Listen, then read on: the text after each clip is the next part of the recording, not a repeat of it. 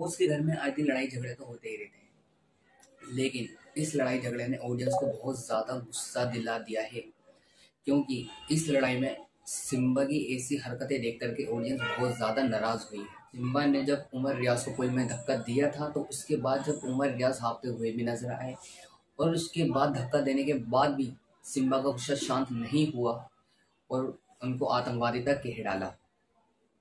ये चीज़ें देख करके ऑडियंस इतना ज़्यादा नाराज़ हुई है। 59 परसेंट ऑडियंस ने ये कहा है कि सिम्बा को बिल्कुल भी खेलना नहीं आता और उन्हें गेम से बाहर कर दिया जाए। और उमर रियाज के फैंस ने जस्टिस फॉर उमर रियाज का ट्रेंड चलाया है और उसमें सिम्बा नागपाल से माफ़ी मांगने की मांग की है।